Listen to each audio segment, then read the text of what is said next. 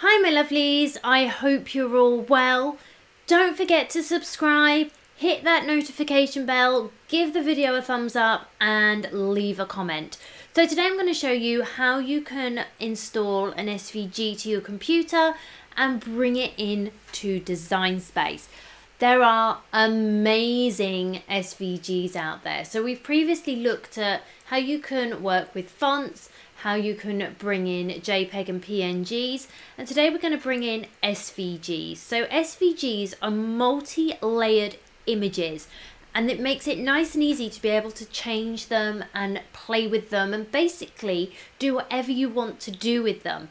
You can turn them into drawings, foils, you can change the colours on them. There are so many options. I am on Creative Fabrica, which is one of my favourite sites for SVGs, PNGs, JPEGs, pattern papers, fonts, you name it, they've got it. I found this SVG here, so all I'm going to do is select it and select download. And it's going to start downloading to my computer. Normally there's a download area somewhere on your screen. It's normally at the bottom here. And there's three dots. I'm going to open that up and select show in folder. It will then take me to where my download folder is so I can double click it. And sometimes there'll only be one or two files in here. Sometimes there may be a load. So you can see we've got the PNG file there. So as we previously looked at, a PNG is a single layer image with the background removed. With this SVG, it's a multi-layer image. It will normally say scalable vector graphics and it will have either an Inkscape image like this or it may have a Google image or a Safari Edge image, whatever it could be, whatever um, search engine that you're working with. But it will normally be identifiable because it'll say SVG or scalable vector graphics. If you're unsure, you can normally narrow it down as well because the others will be things like a DXF, a PNG, a JPEG. They may say something like encapsulated postscript, which definitely isn't what you want. So it'll either say SVG or you'll be able to narrow it down. Just like with JPEG and PNG, I'm actually going to copy this across to my pictures so that it's easy for me to find and then I can actually remove this download file so that it's keeping my computer nice and clean. I craft for personal use. If you craft on a commercial level, normally there'll be a commercial license in here um, so you may want to keep those as well especially with the fonts. If we come into design space we can go to upload upload image browse. Mine always opens up in my pictures but it's easy to find your pictures. There's my SVG there I'm able to see it in my pictures because my laptop allows me to. Sometimes you have to download an image viewer to be able to see them. But a lot of new Windows systems already have an SVG viewer installed. But as I say, you can install one if you need to so that you can actually see your different SVGs.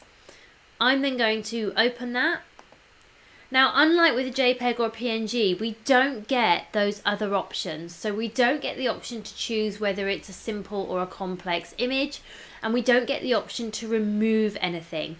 It comes straight in as we see it. Now we can turn this into a print and cut, but the option to bring it in as a print and cut is not available. It will bring it in as a cut file. And then if we wanted to change it to a print and cut, we could.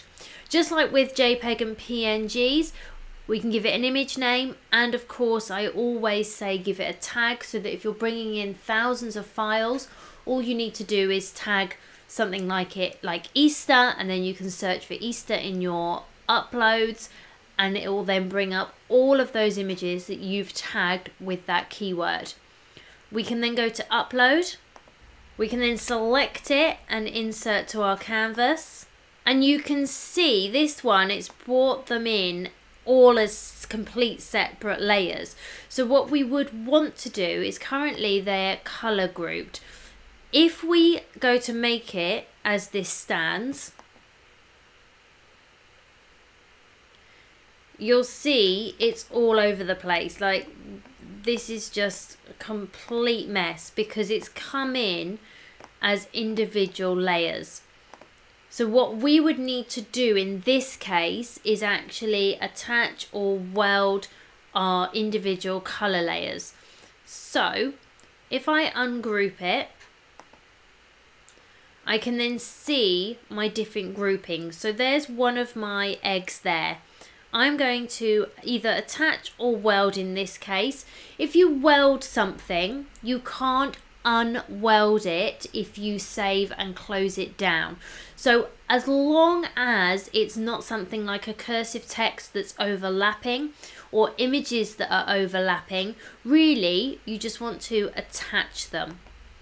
And you can either attach the individual eggs or if we're going to cut all of these out in the same colour, if we come to our layers panel and we hold down our shift key, we can select all of those pink layers at once. And we know they're selected because they go a darker grey colour. And then all we're going to do is select attach, which is down at the bottom of our layers panel.